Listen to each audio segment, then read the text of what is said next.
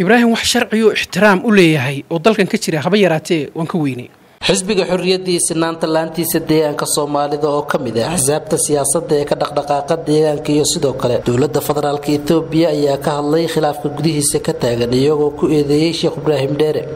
oo horey xisbigaasi u ahaa gudoomiyihiisu inuu qaska wado ururka gudihiisa waa sida ay hadalku dhigeen. Waxaa jirtay afartan iyo afar xafiis ayaa jiray xilligii sheekh ibraahim uu afgembiga ku qabsaday xisbiga xorriyaddii sinaanta afartan iyo afartii xafiis markii aan hadda aan ka wareejinay saddex xafiis keliyataa ka soo hadhay xafiiska xisbiga heer deegaan iyo mooyaale iyo jarati ayaa ka soo hadhay intii kale o dhan bulshadu way kala carartay. Intaa uu joogay hal shaksi oo la socday ma jirin waxay ahaayeen isaga iyo hal xubin oo kale iyo darawalkiisa iyo kameramaankiisa keliya aan la socday. Xubno kale oo xisbigii lamayna soconin anigu marka waxaan ku soo koobayaa waxaan leeyahay sheekh ibraahim inuu mataqaanaa uu hogaansamo xisbiga xeeroosaad ayuu leeyahay.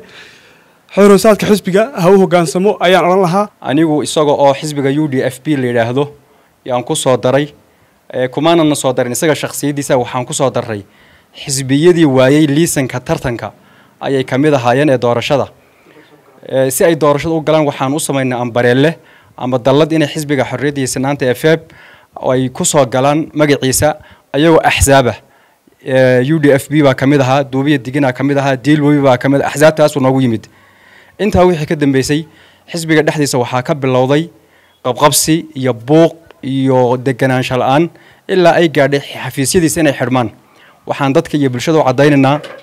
intaa wixii ka dambeeyey inuun xisbigu degin anigoo guddoomiyihii sifo sharci darro ah oo miidhihu ogaa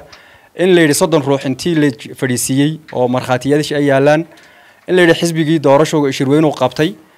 sidaasaa lagu maarata xilkii yaa loogu wareejiyey marka waxaan caddaynaynaa arrintaasi inay ahayd damage iyo talagal in xisbiga la burburiyo iyo axsaabtii uu sheekhu geli jiray oo mar walba meeshuu uu tago uu ku galgasho oo uu qaso oo deetana lagu kala cararo qaab noocaas baan u fahnay bulshada waxaan u caddaynaa xisbiga xorriyaddii sinaanta xafiiskiisa waa ka mas'uulkiisina waa mudane yuusuf.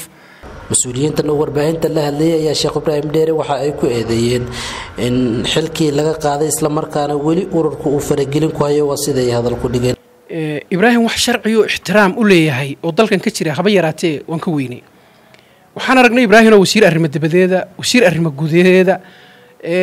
ololo iyo barnaamij iyo lacag ururin ka wada dalka dibaddiisa caqabadda koowaad ee mushkiladda abuurtay ee dadka dhan ka yaabisayna taasay ahayd wuxuu farageliyey laamaha kala duwan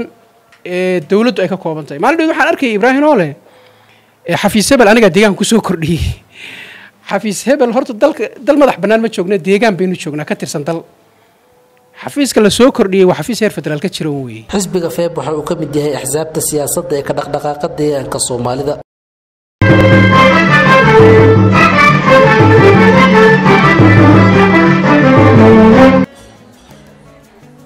Wow isbiilkiisu fiicay saaxiib. Waad ka heshay soomaa maasha allah saaxiib maxaad ku shubatay waxaan ku shubtay xidhmo furan. Toban doolar baad ku shuban kartaa shan baad ku shuban kartaa shan iyo toban baad ku shuban kartaa labaatan baad ku shuban kartaa.